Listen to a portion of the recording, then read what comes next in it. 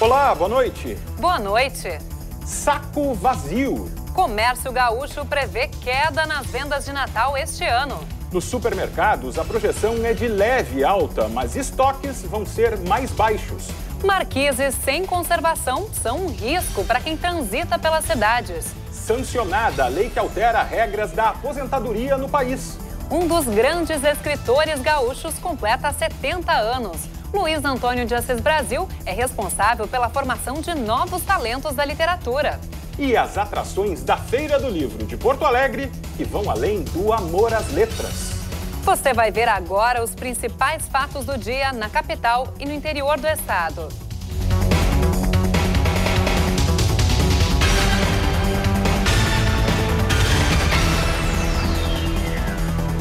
Uma pesquisa feita pela Federação do Comércio aponta que os consumidores gaúchos vão ter um Natal com menos presentes. O setor projeta queda tanto nas vendas quanto nas contratações temporárias do fim de ano.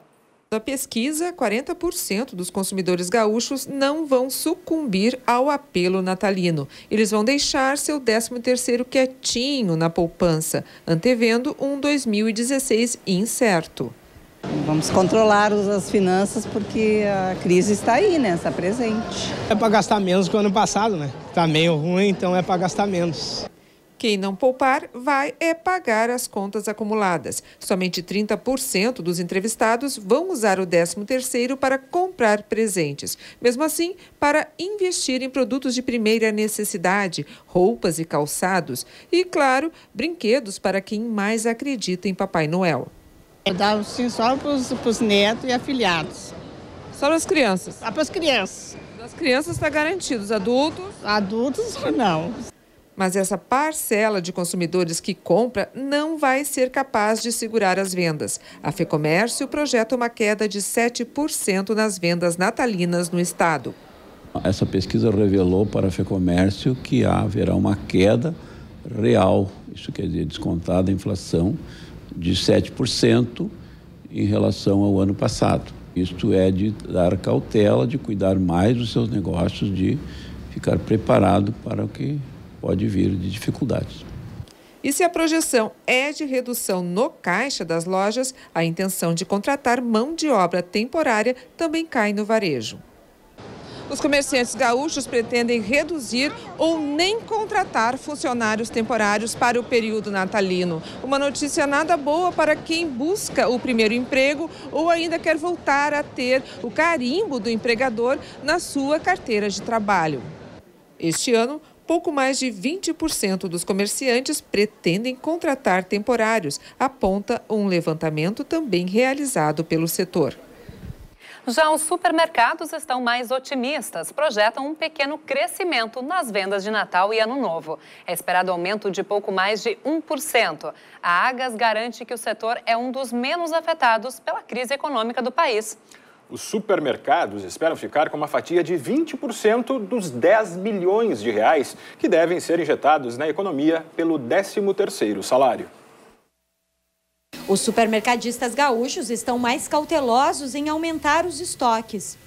Enquanto no Brasil, 17% dos empresários do setor vão ampliar as compras, somente 5% dos gaúchos vão fazer esse investimento. 70% vão manter os estoques nos mesmos níveis do ano passado. Em entrevista coletiva, o presidente da Agas, a Associação Gaúcha dos Supermercados, avaliou os dados da pesquisa. Nos últimos dois anos, o setor teve um crescimento em algumas categorias muito acima do esperado. O que acontece, assim, ó, quem é realista é isso, tu só está entendendo agora que está voltando para a tua realidade. A pesquisa também mostrou o comportamento do consumidor. 46% dos entrevistados disseram que vão gastar menos nas festas desse ano, mas o supermercado vai ter participação maior nesse gasto. Os produtos típicos das festas estão 8,5% mais caros. E o relatório de execução orçamentária apresentado hoje na Assembleia revela a queda de 3 bilhões de reais nas receitas do Executivo Gaúcho somente no primeiro semestre deste ano.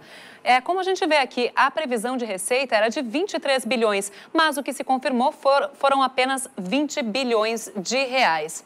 E uma das, uma das um, dos fatores que mais contribuiu para esse dado negativo foram os empréstimos e repasses do governo federal, que caíram então quase 2 milhões e 300, 2 bilhões e 300 milhões de reais. A arrecadação de impostos também ficou abaixo do esperado, teve queda de 710 bilhões de reais.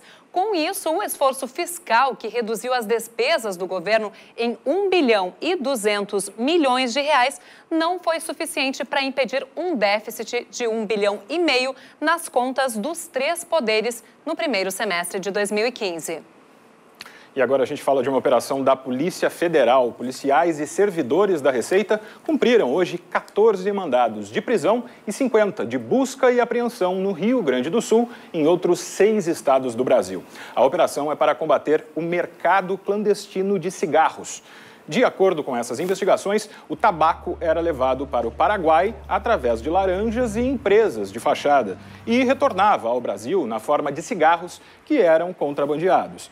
Parte do tabaco também seguia para fábricas clandestinas em São Paulo e no Rio de Janeiro. A justiça determinou o bloqueio de 9 milhões de reais em bens como imóveis, carros e contas bancárias dos suspeitos. A estimativa é de que a quadrilha tenha sonegado mais de 2 bilhões e 300 milhões de reais em impostos. E atenção motoristas que trafegam pela BR-116 na região metropolitana. Um trecho da pista próximo a São Leopoldo está em obras. Os motoristas que dirigem no sentido interior capital devem ficar atentos à sinalização na altura do quilômetro 249. O trecho tem um desvio de aproximadamente 100 metros pela pista da via contrária. Outra alternativa é a rua Jaci Porto. De acordo com o DENIT, a alteração é necessária devido às obras de recuperação de um bueiro que se rompeu por causa da chuva do mês passado. O trabalho deve durar cinco dias. A Polícia Rodoviária Federal fiscaliza o tráfego na região. Sexta-feira de tempo parcialmente nublado na região central do estado. Em Santa Cruz do Sul, tem previsão de nevoeiro pela manhã. À tarde, sol e máxima de 26 graus. Em Santa Maria, o dia começa com tempo encoberto e mínima de 12. A nebulosidade diminui durante a tarde e os termômetros sobem. O mesmo acontece em Cachoeira do Sul, onde as temperaturas vão dos 13 aos 24 graus. E veja ainda nesta edição as atrações da Feira do Livro que não se restringem à literatura. E logo após o intervalo, conheça as novas regras para aposentadoria no país. A gente já volta.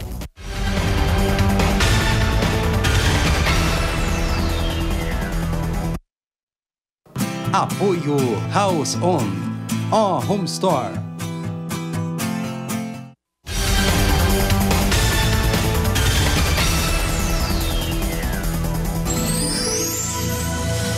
Nesta sexta-feira, o tempo firma na região metropolitana. Em Porto Alegre, amanhecer com névoa em mínima de 14 graus. À tarde, o sol predomina e as temperaturas atingem os 23. Máxima de 23 também em Novo Hamburgo. O nevoeiro da manhã logo dá lugar ao tempo seco. No litoral norte, a nebulosidade vai ser maior. O dia intercala períodos de tempo nublado com algumas aberturas de sol. Máxima de 22 em Tramandaí.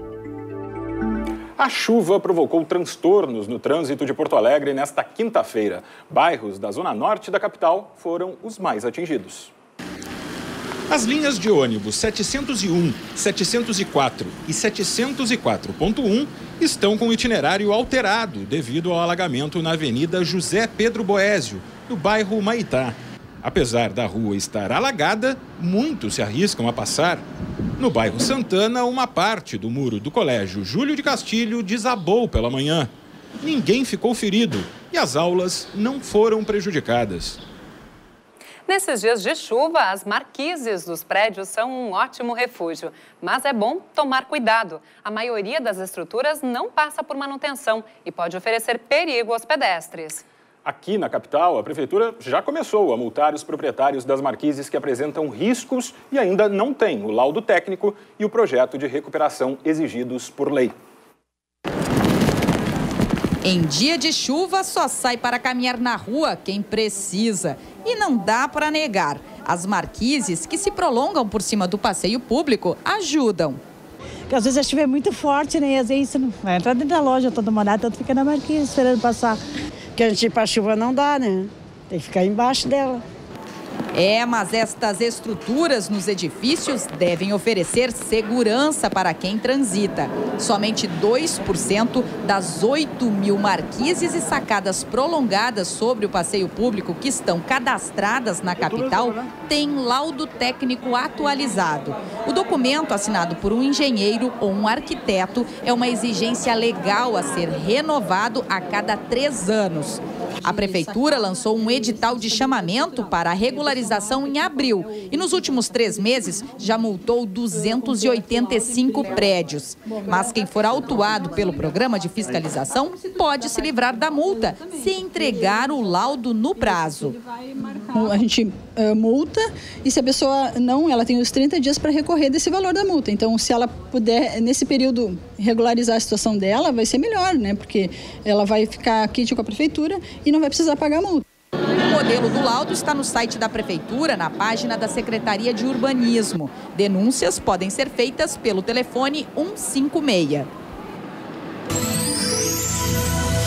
Sexta-feira de tempo firme no oeste do estado. Em Uruguaiana, tem previsão de névoa ao amanhecer. À tarde, o sol brilha forte e os termômetros chegam aos 24 graus. Já em São Borja, a nebulosidade vai ser maior. O dia alterna períodos de tempo encoberto com aberturas de sol, máxima de 25 graus. Em Alegrete, o dia começa com nevoeiro e frio de 10 graus. À tarde, sol e temperaturas em elevação. A presidente Dilma Rousseff sancionou hoje a lei que introduz mudanças nas regras para o cálculo da aposentadoria. O novo modelo leva em conta a soma da idade e do tempo de contribuição e garante o pagamento integral do benefício ao trabalhador. De acordo com as novas regras, a idade do trabalhador é somada ao seu tempo de contribuição, até que se alcance 85 para mulheres e 95 para homens.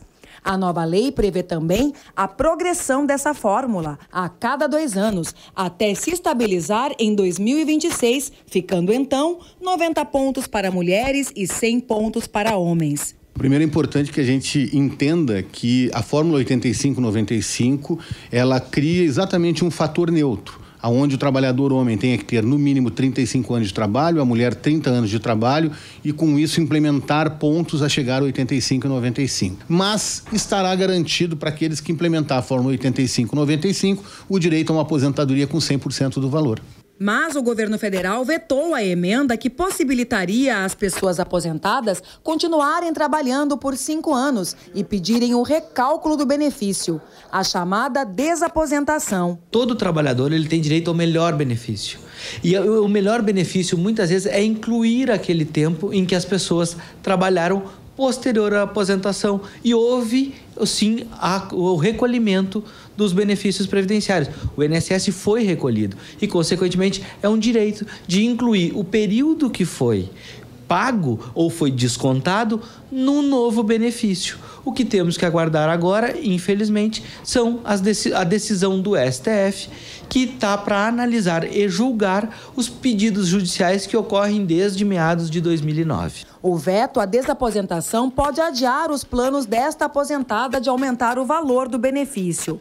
Cansada de ficar em casa e precisando aumentar a renda, ela quer voltar a trabalhar no ano que vem.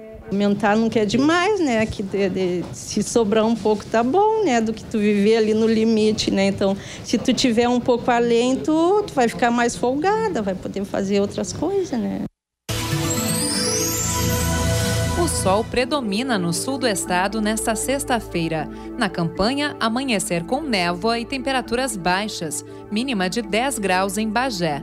Em Pelotas também tem previsão de névoa, mas ela logo se dissipa e dá lugar ao sol, máxima de 24 graus. No litoral sul, tempo firme com alguns períodos de céu encoberto, mínima de 12 graus em Rio Grande. E assista depois do intervalo, Além das Bancas. Conheça as atrações da Feira do Livro da capital. Nós já voltamos.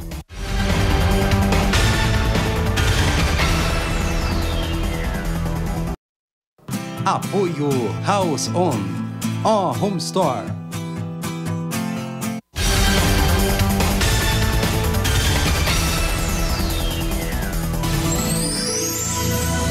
Tem chance de chuva fraca na metade norte gaúcha nesta sexta-feira. Na Serra, o dia vai ser de tempo instável e temperaturas amenas, máxima de 19 graus em Caxias do Sul. Em Passo Fundo, amanhecer com muitas nuvens e possibilidade de garoa. À tarde, o sol volta a aparecer e os termômetros atingem os 22 graus. A previsão do tempo é a mesma para Ijuí, onde as temperaturas variam dos 11 aos 23.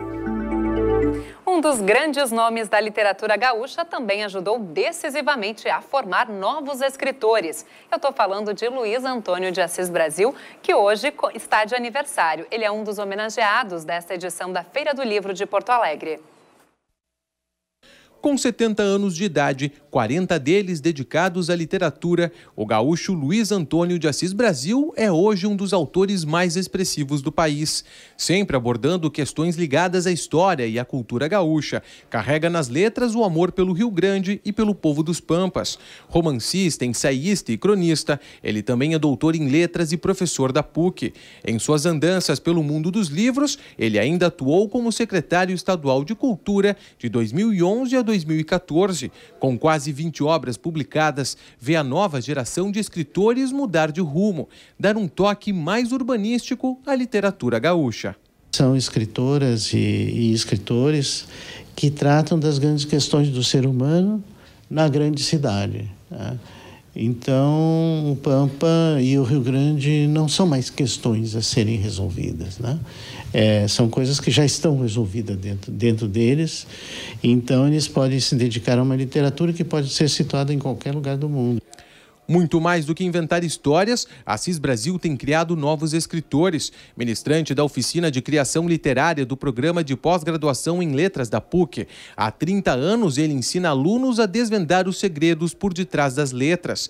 Alguns se tornaram leitores ávidos, professores, ministrantes. Outros seguiram os passos do mestre. O Assis nos encantou no sentido de buscar essa a, a expressão essencial, a essencialidade.